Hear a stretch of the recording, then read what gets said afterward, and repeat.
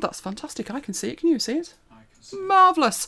Hello, good evening, and welcome everybody. And tonight we're looking at Cooler Colour with Adobe Kuler. For those who don't know me, I'm Elaine Giles. I have been a trainer for more years than I care to admit publicly. Currently, I present the Map Bytes podcast, and I am also the user group manager of the Northwest Adobe User Group in the UK. And we are an official Adobe user group. So we have lots of people with us because Adobe have been tweeting our events. So uh, welcome to all those people. But enough of me, but let's get back to the topic of the night. You may have heard of Kuler before. If you have, let me know in the chat. Have you used it? Have you heard of it? It actually goes back to November 2006, which isn't long after I moved to the Mac. But today it's much more than that basic colour service that it was back then. There is still the core service, which is the web service, and that's the central hub of Kuler's expanded range of services. So over the years it's changed, but still recognisable as being uh, the, the Kuler service of old. But what's new? Well, now there is app integration. So some apps have built-in support for Kuler colour themes. Now, the two that I've got up there, Photoshop and Illustrator, they both have quite integrated uh, integration, as it were. But contrary to popular opinion, it isn't a crisis if an app doesn't have native support. As we will see, I will show you a workaround for apps that don't have native support. And at, at the moment, not all Adobe apps have integration, so it isn't just third-party apps. But the workaround that I've got works with any application, so I will show you that. There's also the Kuler community, and there is quite a big Kuler community there. Um, it involves the ratings of colour schemes, there's a whole system of commenting.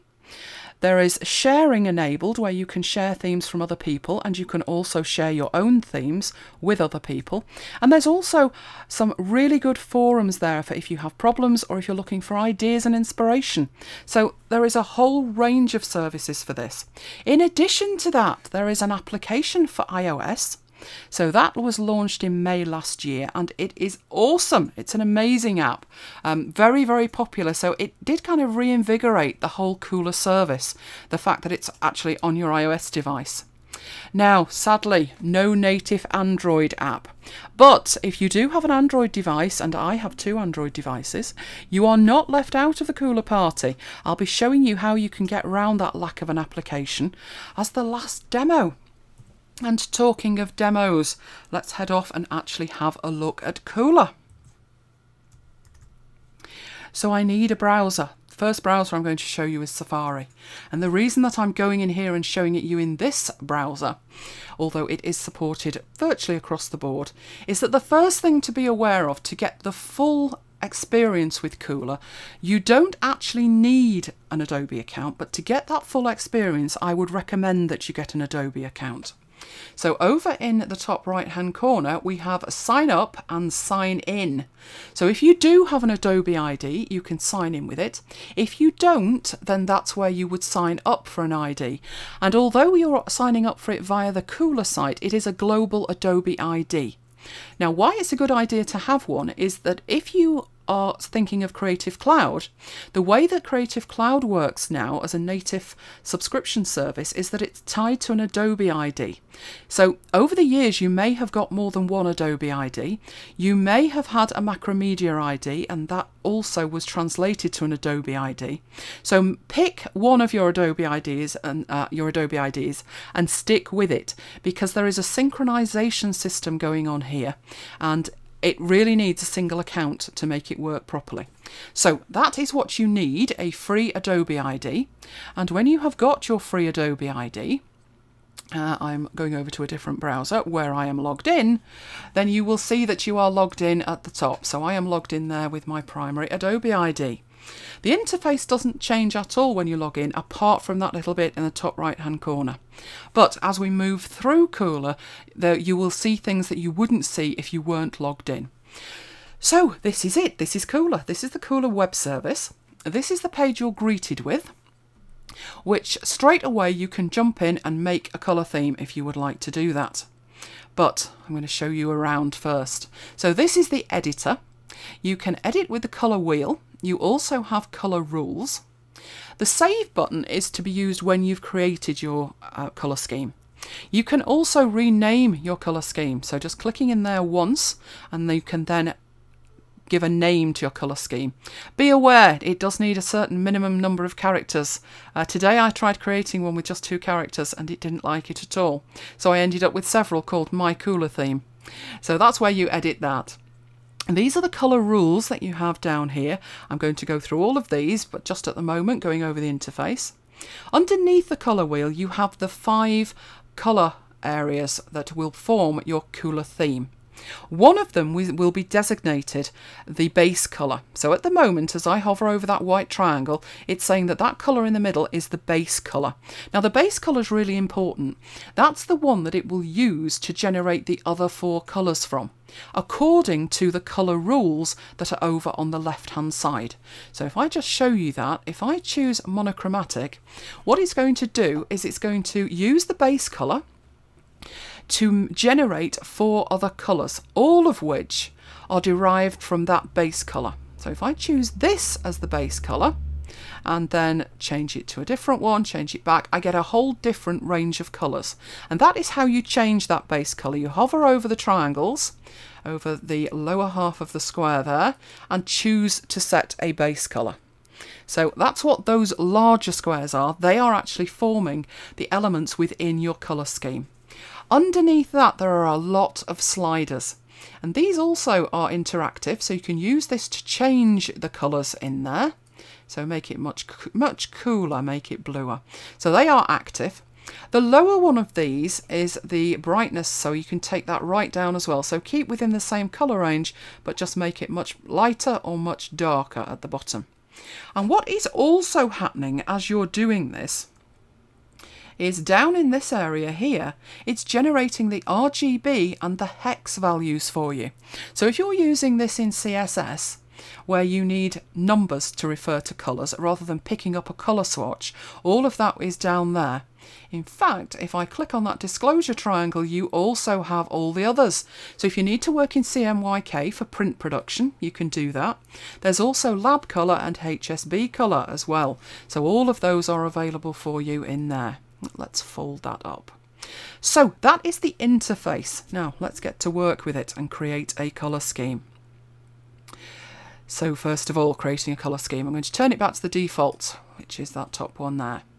And what happens in here is, as I say, one will be the base colour. So I'm going to put the base colour back to the middle.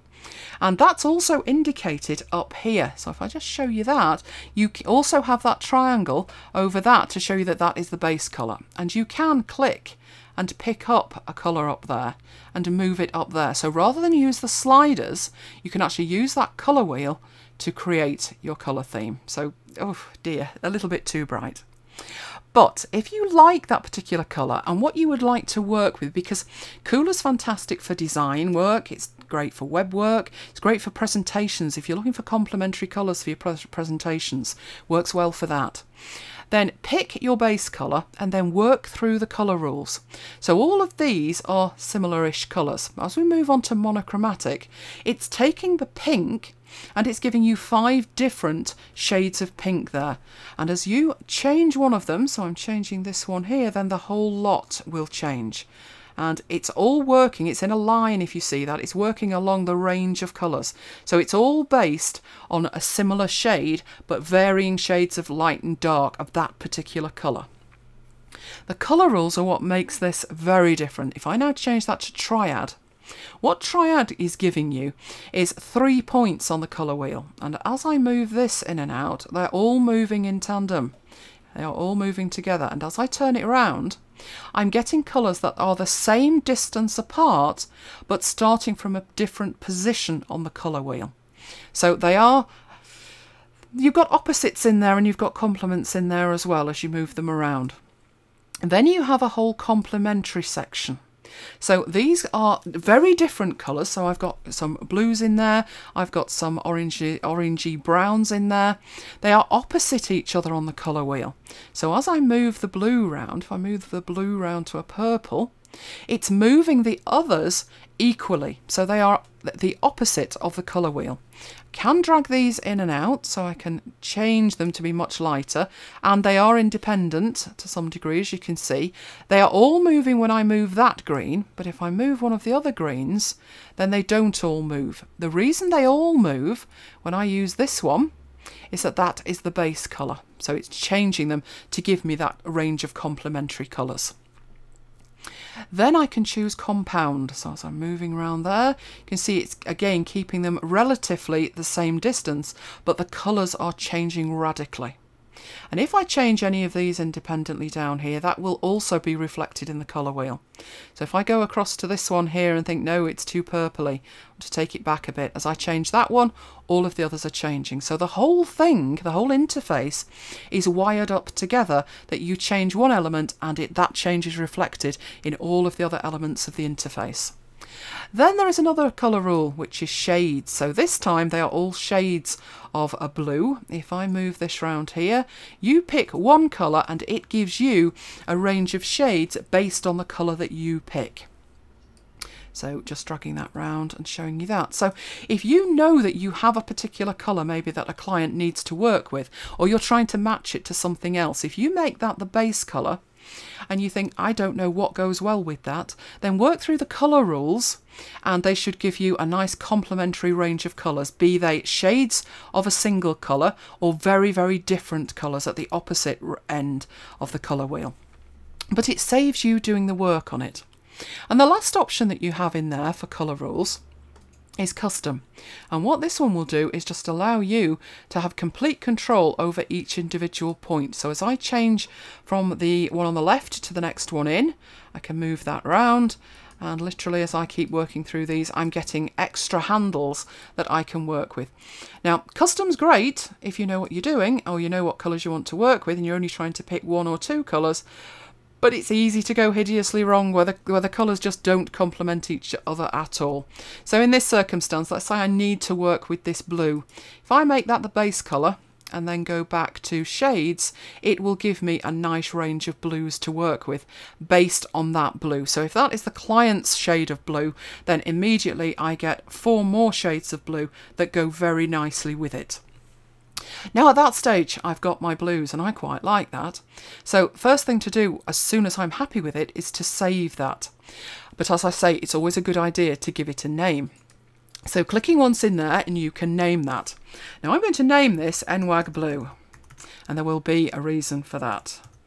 I want you to be able to find it. So at the moment I've, set, I've named it. Next step is to save it. And saving it takes you into this view, which shows you just the five colours that you have there.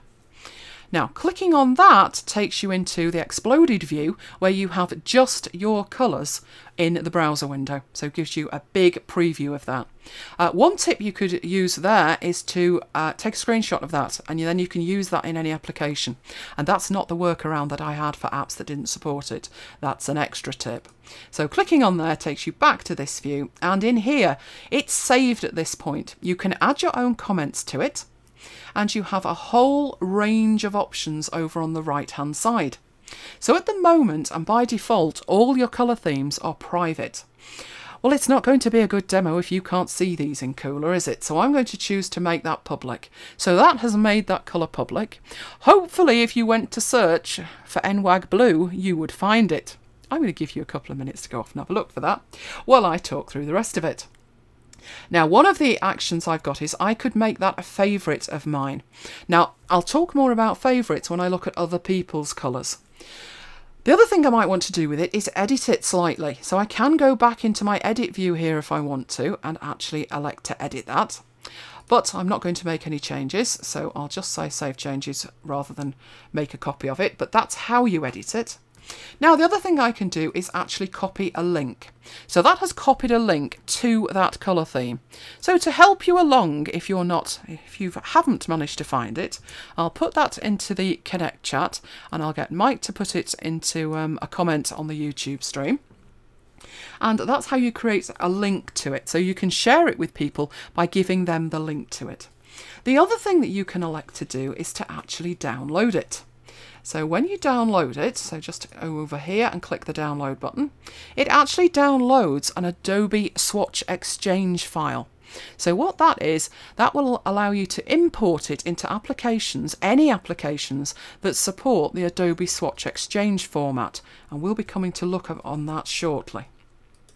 For the moment, I'm going to click on there and uh, oh dear, it's opened it up in Illustrator. That's not what I wanted. I wanted to see it in, in the um, filing system. But I will um, tell Illustrator to go away and we will look at that shortly. Right, the other thing I can do is delete a colour theme. So if you've made a colour theme and uh, you don't want it anymore, then you can just delete it there. You can also report abuse. Now, because these options um, are global here, I wouldn't have a delete option if this was somebody else's colour theme. But if it's not relevant to me, so for instance, I'm not logged in or it's not my colour theme, then the delete option won't be there. But report abuse will be. And um, that's when well, I have seen people do rather strange things with colour themes. So um, if, they, if you do find one that you need to report abuse, that's how you do that. Then you have your information underneath, so who created it. Now this one I've got a bit of a problem with. I have set uh, my username to be Elaine or Elaine Giles everywhere I can. And nowhere can I seem to change that from Elaine G. So uh, I will have to carry on working with that. I'm assuming it's got that from my email address. But uh, I am, I have set my Adobe ID up to be Elaine or Elaine Giles, and still it's not having it. But that uh, does show you where who created it and that's important because you have a user ID so if you look down at the lower right uh, lower left hand corner of your screen you'll see it says kuler.adobe.com slash user ID and there's a number and that user ID it's a bit strange to do it this way but it's unique to you. The, un- the user ID is unique to you and it can be used in the searching. So we'll come on to that shortly, but that's where you would find your user ID. It's got the date it was created, how many times it was viewed, and you can rate it as well. Well, I think it's fabulous. Sadly, I can't rate my own, but uh, you can go in and you can rate that and uh, also favourite it. Now, if you would like to help people find your colour theme, then it's a good idea to tag it. And tagging works in exactly the same way as you will see in other applications. So if you're familiar with tagging in iPhoto or any other application that uses tags, then this works in a very similar way. So I would be putting in here blue as it's mainly blues. I could put in something like seaside. And what you're really doing when you're tagging is thinking, what when would I like this to return to people in the search results? What would I want them to look for and have my colour theme come up?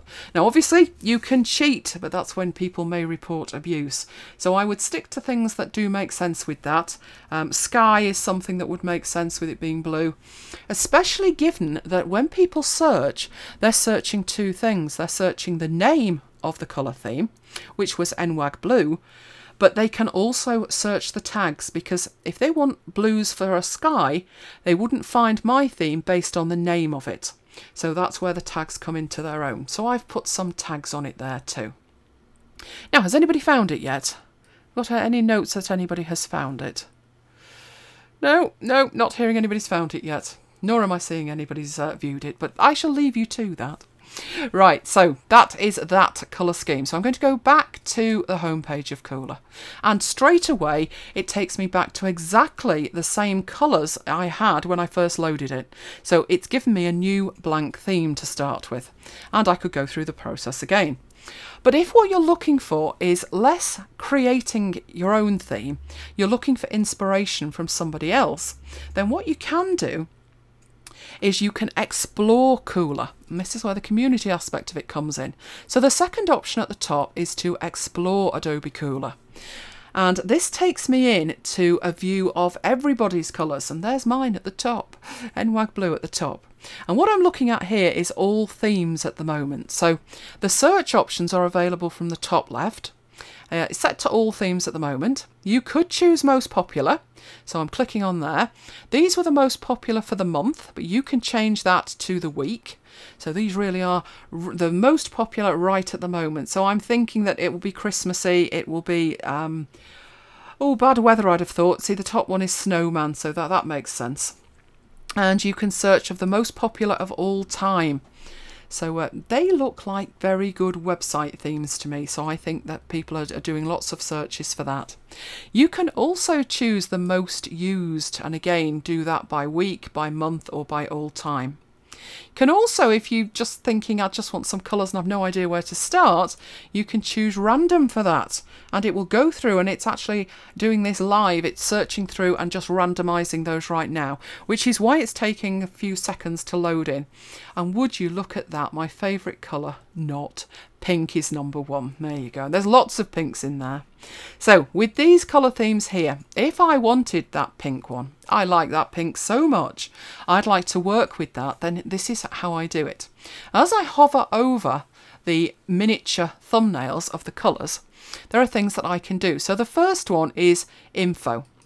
And when I go into that, it takes me into that view that I had before. But if you notice on the right, as I said, this isn't my colour scheme, so the delete button isn't there. So that's why it's missing.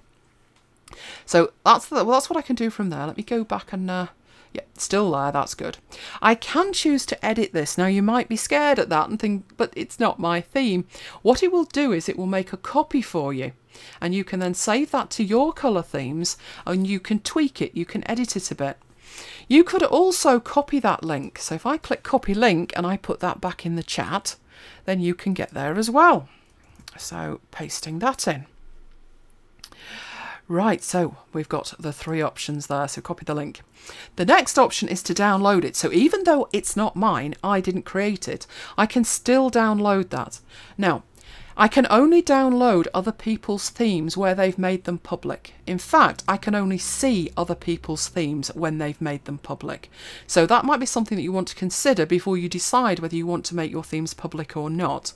But I'm going to download that and we, we can have a look at that later. And another option you have is actually to favourite a theme. Now, if you favourite a theme, that will then appear for you when you're looking at your themes. So I'm going to favourite that theme. Oh, the first time it's been favourited, there you go. Pink Ribbons is now favourited. And I can carry on working with that when I work with my themes. Now, that's just browsing them, it's just exploring them. It's not actually searching for something specific. So, you might have a job to do where you know the kind of colours you want. They need to be like a fairground or a circus or the seaside or lipsticks, something like that. And you you know that that's what it, the, the colours, you'll know them when you see them, is what I get told a lot. Or you can use a search box for that.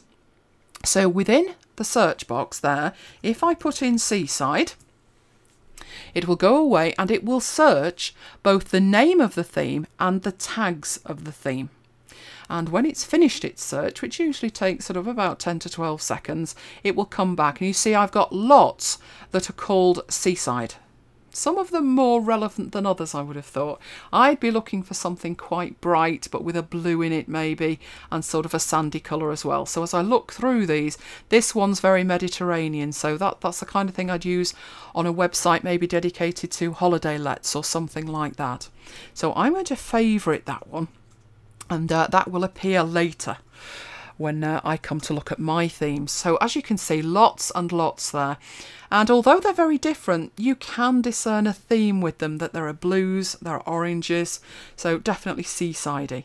So that's searching through them. Now, some people call these things logical names like Seaside Beach or Seaside Adventure, Seaside Friends. Some don't. I call mine NWAG Blue. So if, if you were looking for sky colours, you wouldn't find it. So you can restrict your search by using um, keywords, and those keywords are tags. So you can limit them by tag. You can limit them by um, username. Well, user ID, not username, user ID. Or you can limit it to a title. So if I put in tag and then colon and put in seaside, and hopefully this will work. Obviously, this is happening live. What I want to see returned, uh, and I'm getting them, so that's good, are themes where the, the word seaside is not in the title. So Expanse, Island, Scarborough Beach, they don't have the word seaside in the title. But if I wanted to limit it to ones that did have it in the title, then I just change that word tag so at the moment there it's tag colon. I would change that to title colon and redo the search. So you can do that. You can also put in there user IDs. And uh, that's why you need to know your user ID, but it isn't very user friendly. To use that, you'd have to go and find somebody's profile and then find their user ID, which, as I've said, is just a random string of numbers. So it can be done, but it could be a little bit more friendly. Right, so that's the explore section. The third option here is My Themes. So I'm going to go into My Themes. And there's quite a lot of them. I've been um, happily creating themes for quite a while. And uh, some of them have names, some of them don't have names. And as you can see, there's quite a lot of them. Not many of them are public. So not many at all are public. But just to show you how to work with them, I'm going to make this one called Andy Blues. Um, public. So I'm going to go into the info of it and across on the right you can see it's private and very simple to make it public just click on there. So now Andy Blues is public and um, I haven't put any tags in. I could put in there blues again or blue and blues and sky and anything else that, that made sense with that particular range of colours. I'll put in there NWAG as well and uh, maybe you'll be able to find it by that. So that is how you work with your own colour schemes. Now, where did all these colour schemes come from? Well, I certainly didn't sit um, in front of my web browser and work with them in there. No, I didn't. There are more ways to create themes than sitting in front of your web browser and randomly dragging around those um, pointers that you have in here. So, first thing that you can do, I need my uh, file system. So, where's my files? I've got some data here and I've got uh, some files in it. What you can do is you can move over to this icon, which looks innocuous sat up there, doing not much. Doesn't even say anything, but if I click it, it will say create from image. And what I'm hoping that will allow me to do is to upload an image and then have um, Kuler analyze that image. So I'm going into there and I've got my data in here. So I have a range of posters. So I'm going to go for my Adobe Ideas poster and I'm going to open that. And it very quickly uploads it. You can see how fast that was. That's the image. And it this is a different way to create a colour scheme. Instead of having a colour wheel, it's now looked at that image and it has picked these five colours, which has done a pretty good job actually. But if I wanted to change them slightly, a couple of things I can do. I can click on here and move that round and that gives me a zoom view as well. So if I wanted to pick up a grey from over here, I can actually zoom over that and get just the grey I want. You can also choose in here and it will highlight the point on the image. So this one is very orange down there, that's more yellowy at the top. If I go back to that one and drag that up so it's a very pale yellow, can do that as well. Now, at the moment, that is set in the colour mood to be custom. And the reason it's set to custom is that it's allowing me to move these points and make my own decisions about each and every colour in there. Now I'm going to make this orange one, I'm going to highlight that orange one. And if I come into here, the colour mood, I can change the mood of that. So if I choose it to go to colourful or bright or muted, you can see it's giving me a different mood from the same image. So this one's much, much darker. That one's dark as well, so it's just picked up the one bright colour. So I think colourful's quite nice. I like that one. And it's even given me a name, and it's taken that name from the name of the file. So the file was called adobe-ideas.png and that is the name that it has uh, given itself up there. So I will leave that set to Adobe Ideas and save that theme. Again, it takes me through to this detailed view for this theme. And at the moment, it's private, so the first thing for me to do is to make it public. And again, I've got all the same options. I can edit it, I can copy the link. So I've got the link for that one. I shall paste that one in as well. So going over to my chat window and pasting that one in. Yep, I think that one's gone through. And I can put in my important tag information. So I don't think it would make sense, given that it's called Adobe Ideas, to be putting Adobe Ideas in here, but blue figured highly, orange figured highly. Um, I might want to put bright, uh, or whatever else you would think appropriate for something like that. So do take the time and tag them.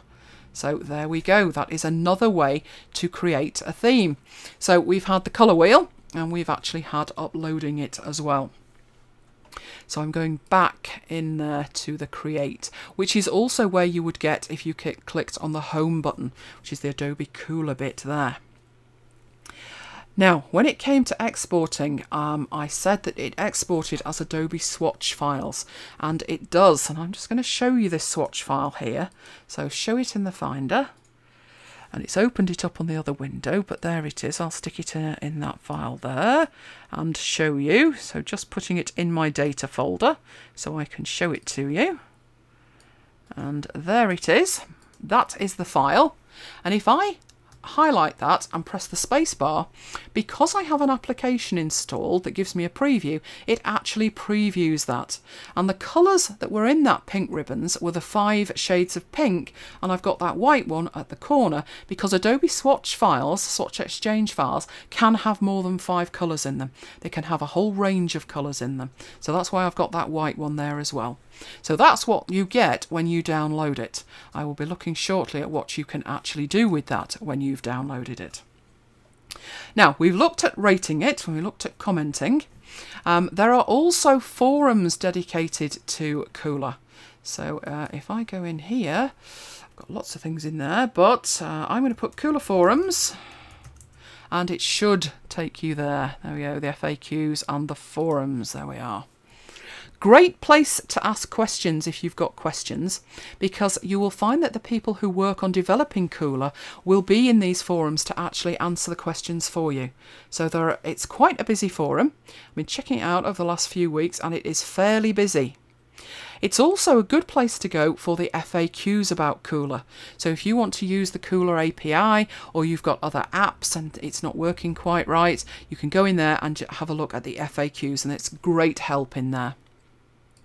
Okay, now let's have a look at how else you can create your Kuler themes.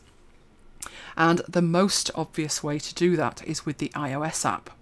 So I'm going to attempt to let you see my, uh, uh my iPod Touch.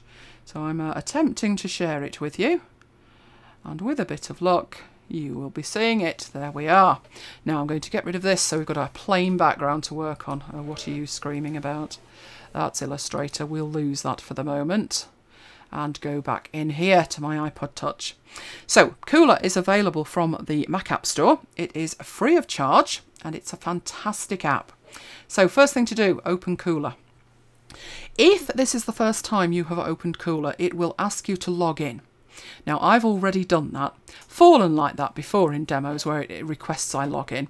This is where you put your information in in my account and you also have preferences in here where you can uh, reset the settings, where you save your images to and whether you allow usage tracking, which I don't. Got enough, poor thing's got enough to do in a demo without tracking usage. So once you've logged in, uh, you will have access to your Kuler themes. This is why it's important to have that single account and they are the same themes as we've seen in my account within the browser. So they are the identical themes. So I'm going to go up to the top here. In fact, it's even managed to synchronize it, and uh, those top three are the ones that I've just created. So I'm going to click on that once, and you can see there's the Adobe Ideas theme. And I can choose to edit that in here if I want to by tapping on the first button, which takes me into this view. And in here, all I've got to do to make changes to that is use these sliders. So move the sliders up and down, having selected the colour that I want to change. So make changes like that. If I want to change that blue one on the left, select that and move that up, choose a different colour. Now at the moment it's letting me do that. That now doesn't look as good as it did before because down here I've got it set to custom. So in the lower right hand corner you have those colour modes. So if I wanted shades of that um, purpley colour, there we go. So I have chosen down there shades. I can choose the triad and get the different colours and the monochromatic will give me lots more blues. So I can make all those changes in there. Now, if you, I'm actually at the moment editing that particular colour that's the slider way of editing it. But on the right hand side, just underneath the blue, so I'll use my mouse pointer to show it to you, there, and now I'm that one there. If I tap on that, it gives me a different way to edit it, which is the colour wheel. So very similar as to the web interface and a really great implementation because as I drag that round, so I'm dragging around the pointer to pick up a single point and we'll have greens there. There is also another option on that wheel. Not only can I drag and drop those points about within the colour wheel, but right around the edge of the colour wheel, so right around the edge here, I've got various shades and that allows me to change the brightness of that. So I can drag that round like unlocking a safe. There we go, I can move that round and completely change the tone of the colour that I have at the top. Now, if you want to save that, you hit the plus at the bottom, the tick, and if you don't, then you hit the cross. So I'm not going to save that and come out because that was my Adobe Ideas and it was meant to be blue. So that's what the first button there does. The second one is the info icon. as I go into there, it's got the name, it's got whether it's public or not. So I, if I've decided I don't want it to be public anymore, I can take that down to be private. I can also put more tags in. So you really can access and utilise Kuler on the road with this app. It gives you virtually the same features, just in a, in a very different interface.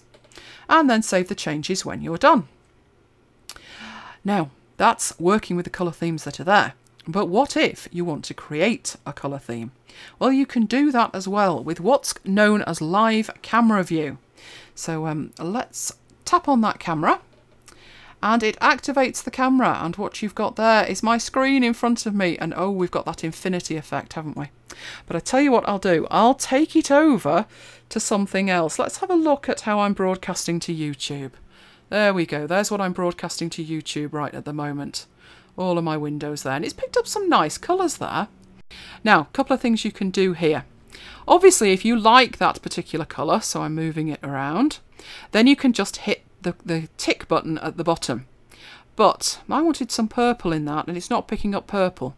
So if I tap the image once, it freezes the image. And now I've got the uh, iPod Touch in front of me and I can click and drag. So just tapping and dragging and it's letting me choose what precise colours that I want there. So just dragging these over, picking up some very different colours from my screen just by dragging these about. So happier with that, that looks better.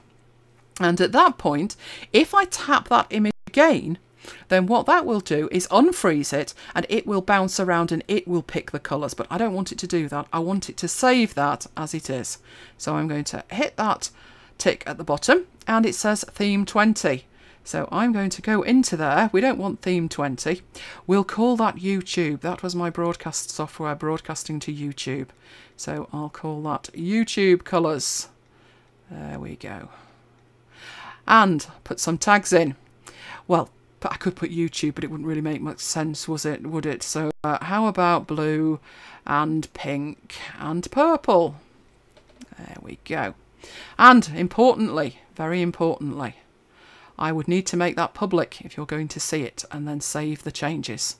So if you have got one of my colour schemes on your screen now and you click on my user ID, then that YouTube colours should be with you anytime now. Now back up here, I'm onto my third button, which is this one, which is my share button. If I tap on there, I can tweet it. I can email the link or I can cancel. Now really what I should do is tweet it, shouldn't I? Let's see how that works. Right, check out YouTube colours on Adobe Kuler from my account with, with no location. That'll work nicely. So I'll post that. People on Twitter will think I've gone mad. And it even whistled and said it had tweeted it for me. So if you follow me on Twitter, that is out there. You can go click it from there. So what you've got in this app is complete Kuler management. It's synchronized, which is critical and it's using that Adobe ID to do that. You can also, if you would like, load in a picture and get it to do it that way. But that is what you've got with the iOS app. And there's Mike retweeting me, and you can see Boxcar going crazy about that. I put this on Do Not Disturb, and it's totally ignoring me. oh dear. Right. Well, there you go. So, Kuler app, free of charge, absolutely critical if you've got an iOS app. It really does really make you use it more, to be honest. Um, I I had it originally, and once I could do once I could do pictures with it, awesome. It's amazing if you go visit a client to just show them and it gets them excited about colours rather than just, yeah, yeah, whatever, use what you like. It does. It really energises them that you're walking around the office taking photos and using Kuler to pick a colour scheme for them. It completely engages them. So, a great use of tech when it comes to engaging people. So, I'm going to put that one down and I'm going to move on. Oh, and that happens if it goes sideways. There you go, a little extra tip for you. If you hold it sideways, you get that view, which of course you could take a screenshot of and then you've got an archive that you could send to somebody. So another way of working with it. But right for now, I'm uh, going to lose that. There we go. Because I said it's all right if you've got iOS, but it's not great if you've got an Android. But it's doable she said, hopefully, as she juggled with a whole lot more kit. Right, so what I'm now doing is I'm turning my Android on, and then you need to see my Android. So I, I have an app for that, I do. Here is my app, and uh, can I make that bigger? Oh, you'll let me make it a little bit bigger. That's very good of you. There we go. There is my Nexus 7.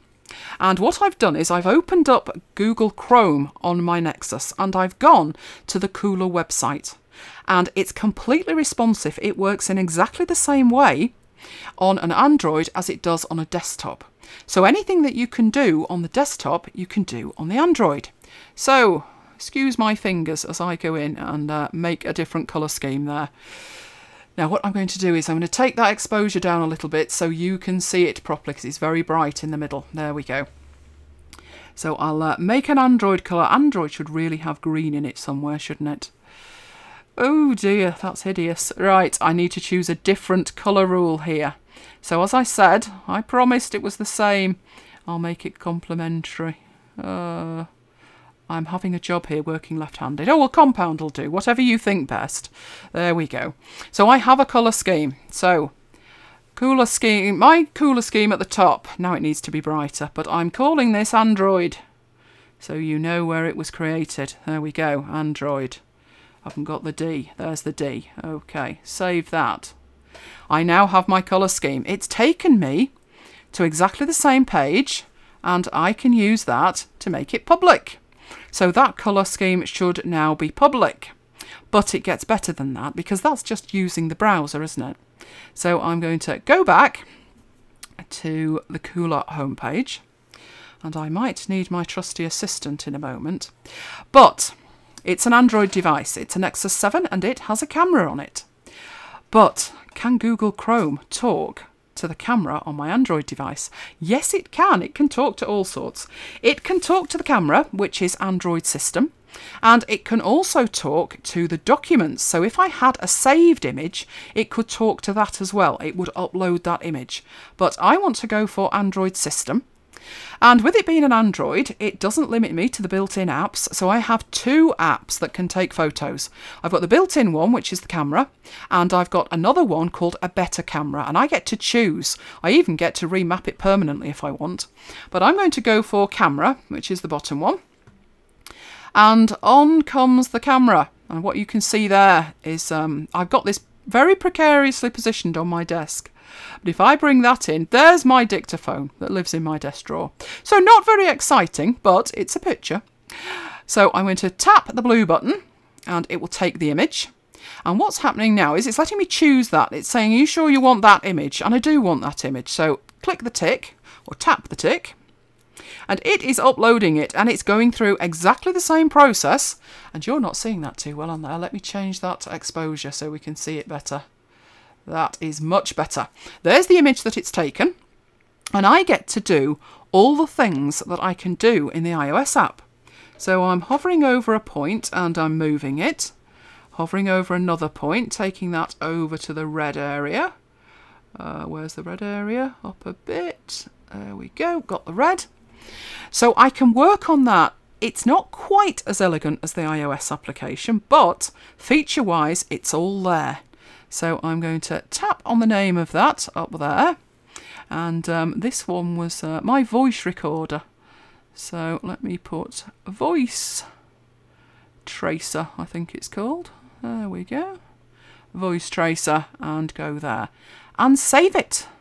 Again, it takes me through exactly the same as it did on the desktop. I get to say whether it's private or public, so just make that public. And I'm going to come down there into the tags and put in there made on Android. Made on Android. There we go. So you do not have to be left out of the party. And it's taken all my spaces out as well. You do not have to be left out of the party if you are on an Android device. Just use the website and it is very, very good. Very good. Uh, you can, of course, use the website on iOS if you would rather use that than use the app. Personally, I think the app has an advantage in that um, you're logged in all the time. I have had to pre log in on here now, the benefit of Android is it will leave you logged in and it will save the password for you as well if you want. So um, just be aware of that. But we have another scheme up there before we move on to looking at actually using these colour themes. So I'm going to lose my Android device. I've got all sorts of things here supporting uh, you seeing my device. So let's you lose all of those.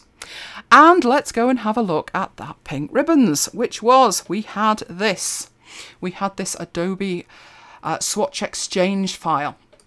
Now, as I've said, I have an application that previews those swatch files, which is why on my desktop I'm getting a preview of it. You may just see the icon, it depends on what applications you've got installed. But what I want to do with this is actually start to use it. So I'm going into Illustrator, and in Illustrator there is a dedicated Kuler panel. So this is what it looks like. And I've had this running in the background and that is why these themes that I have created and favorited are appearing within Illustrator. So to show you actually using this, I'm going to create a new Illustrator file. That'll do nicely, just a file, any file will do. And, oh, don't do that. Good grief. Now I've got more interface than we've got window. Right, there is the Kuler theme. So you can see I've got Adobe Ideas. I've got uh, Andy Blue. I've got the cool one. Now, you should be thinking about this and thinking, but Pink Ribbons wasn't Elaine's theme. No, it wasn't. And that's why we have different icons. Those different icons are indicating if it's a folder, it is a theme of mine. And if it's a heart, it's a theme that I've favourited and I can completely work with those. So I actually have um, a, a file here. Don't need to create a new one. Here's a file. So all I've got is a few shapes. And the reason that I've done that is to show you just how easy it is to use these themes from within Illustrator. So I've selected an object in Illustrator and I've got all my themes showing. And all I have to do there to use these is actually click on them. Don't have to download them, install them or do anything else. The way that Illustrator is set up, this panel is live and I can just use the colours the same way as I could use local colours. So over here I have my swatches within Illustrator locally.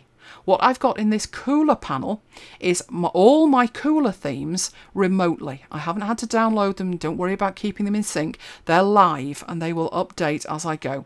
In fact, there is a button down the bottom here to refresh. So if I click on there, my Android one might appear. You never know what it's doing is it's going up and it's querying Kuler for themes that I have both created and themes that I have favorited.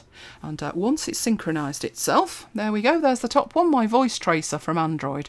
So if I go back in here, there's the very dark one and the navy one and all the colours of my desk. And yeah, the brown one's on my desk, and the red one was the record button on it. So very, very simple to use your Kuler schemes within Illustrator. Now, at the moment, you can't edit those themes from in here. So there is an edit button at the bottom, but it's just not active. Uh, maybe that's telling us what will be coming in the future. But that's what you've got in the Kuler panel there. And you can see it's synchronizing that with my account and that is shown in there as well. You can, if you want to, take these colors. So say that voice tracer one. What I can do with that is take that and add it to my swatches. When I do that, I get a whole extra folder in my swatches palette with the colours on from Kuler. And that way, doing it that way, when I save this file, those swatches are saved with it and they travel with that file. So if my if I inadvertently delete it from Kuler, not a problem, it's saved within the Illustrator file. So that's what Illustrator can do. So let's just save that file and lose Illustrator. So bye bye Illustrator. And now I'm going to show you what Photoshop can do. So I've got a Photoshop file.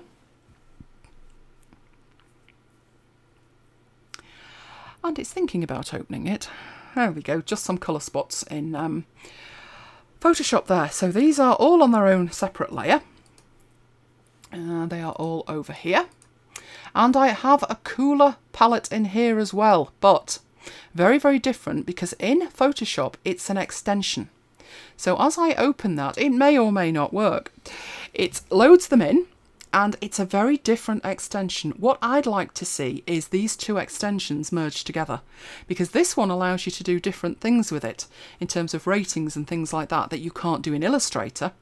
But also in here, there are things in here you can do you can't do in Illustrator and things in Illustrator that you can't do in here. So just very, very strange the, the way it works. But in here, I can browse the highest rated, the most popular, the newest, and all of that. I can look for mine, I can search. So very, very different.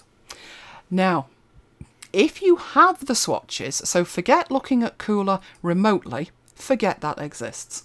These are the swatches that are in my document at the moment, and I would like to have those pinks available, the pink ribbons, then you can actually install them into Photoshop without using Kuler and that's because it was on my desktop. So I move that to the side.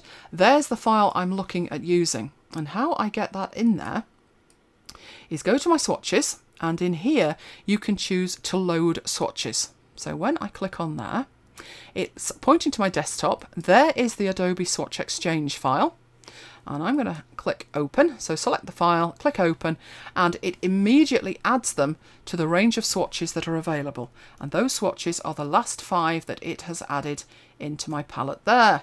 So with these selected, so let's choose that and click on there and I can fill that. Where's my fill option? There we go, there's my fill option. So choose another one and just keep going through it and doing that. So let's choose that one Let's have that colour there. And are you going to fill that for me or not? Come on. You pick that up. You have... I think it's the same one, isn't it? Oh, going going mad. But uh, there you go. You, you can fill it from there. If you selected that. There we go. So very different in how they work and the swatches element works in a completely different way as well. Now, where you're going to have a problem with this so coming out of Photoshop, not saving that, is if you use something that oh, not an Adobe product. And people do, believe it or not. So I'm thinking especially something like Pixelmator. Now, I did a whole video on how to get Pixelmator working with Adobe Swatch Exchange files, and I'm sure Mike will put the link for that in, in the uh, chat when he finds it. That's put him on the spot. But I'm going to show you the trick of how you actually do that, because there are lots of applications where it would be great to have Kuler support, Kuler API support, but they just don't have it. So I'm thinking for my example, I'm going to look at Pages and I'm going to look at iBooks Author, but this is the same for Pixelmator and many, many other applications. The trick to making it work is another application called Color Schemer Studio, which I'm a big fan of and I've mentioned before. But here's why it works so well in this, in, in this situation. This is an application that does nothing but handle colour schemes and it allows me to work with more than five colours. I can work with as many colours as I like and it's although it looks very simplistic, it just looks like a colour wheel and some colours, it's an immensely powerful application. I could talk about this for a couple of hours easy, but I won't. But what I am going to show you is that one of the things it can do is if you've got an application that doesn't support Adobe Swatch Exchange files, Color Schemer Studio can act as a bridge between your swatch file and your application. And here's how it works. Just go to File and Import. And it tells you what kind of files it can import and one of them is the Adobe Swatch Exchange file. So that's what I want it to do. I want it to go and uh, I need to go and find that file. So on my desktop, my pink ribbons file and click open. And what that does is it loads in the swatches into the right hand panel and from there I can actually just work with them. So show you that. Let me get a file open. I'll start with the pages file.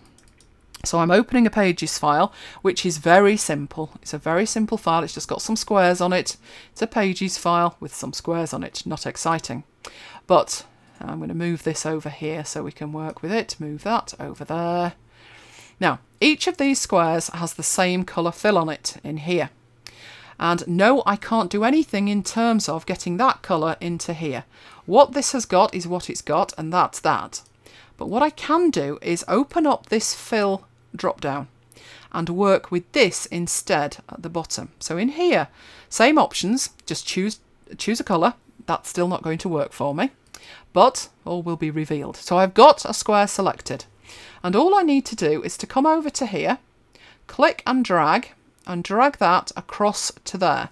And you can see as I hover over that, it gets a blue border, or it would get a blue border. You will see the blue border. I need to do that after there. There we go, blue border. And if I drop that, it fills the square. So it's as simple as that. All I need to do is drag and drop from Color Schemer Studio to the interface of the receiving app and I'm done. So it's a way of integrating not just even one um, Adobe Swatch Exchange file. You can add into Color Schemer Studio as many Swatch Exchange files as you like. So you just load them all in. I did have another one, didn't I? I had NWAG Blue. So uh, I'm going to put NWAG Blue on the desktop and I will load in NWAG Blue. So file uh, import, same as before. Yes, an Adobe Swatch Exchange file. Yes, it's on the desktop, NWAG Blue and open that up. And that shows you that you can now actually work with more than five colours and they're even handily grouped with their names as well to work with. And same principle in here, just choose the one you want and drag and drop it onto there. Now that's using something like Pages. It works with Pages, Numbers, Keynote, all of that. So I'm going to close that down and do something different with iBooks Author. So going into iBooks Author, and the reason that I've chosen iBooks Author is it has a totally different interface to the new versions of the iWork apps. So choosing the photo book template. But in principle, it remains the same. What's different in here is that I've got uh, this text, I've got body text down here, and as long as I've got this window up, which is the inspector, and I've got selected in here what I'm working with, I can do exactly the same. So choosing a blue, and dragging it down to there changes the title. Selecting the body text and dragging and dropping a different blue changes that. And if I want to change that to a pink, I can do that as well. Just need to have that active, have what I want changing active and drag and drop. So it doesn't matter if it's text, whether it's titles, whether it's shapes, these applications will work with Color Schemer Studio. And the good news is at the moment that it's on sale with 60% off. It's not a cheap application. I think it was originally when I first found it about $50, but it's reduced to £14 today. So at the moment it is reduced and it is available in the Mac App Store. So that is it for our demonstrations.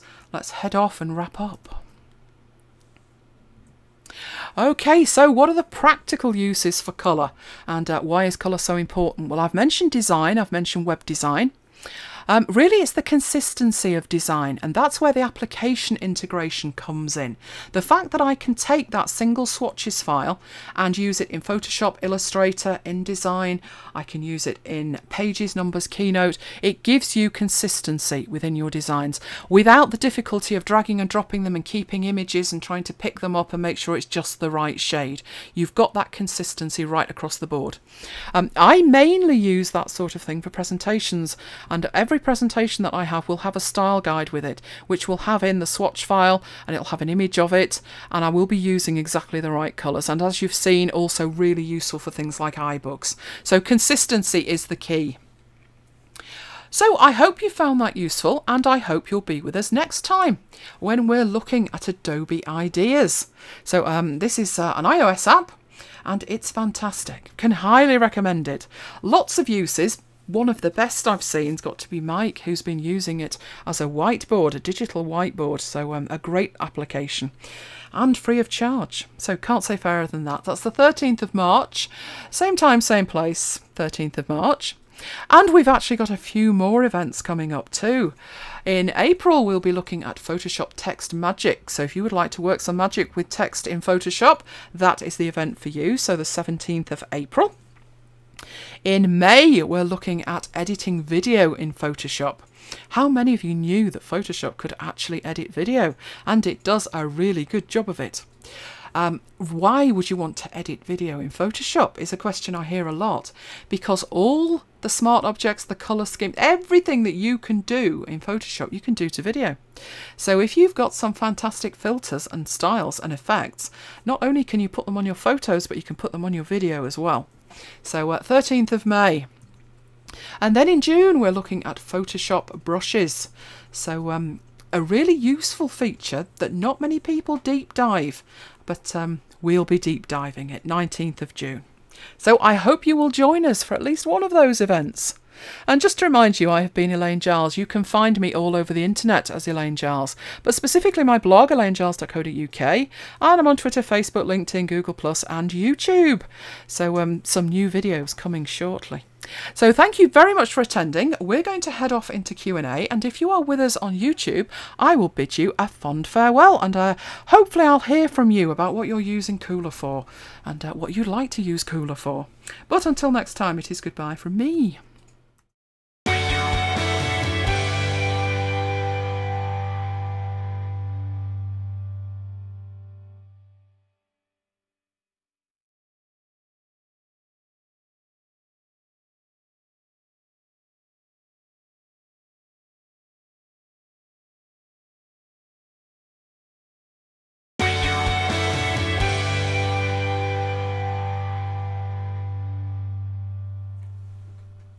And that's fantastic. I can see it. Can you see it?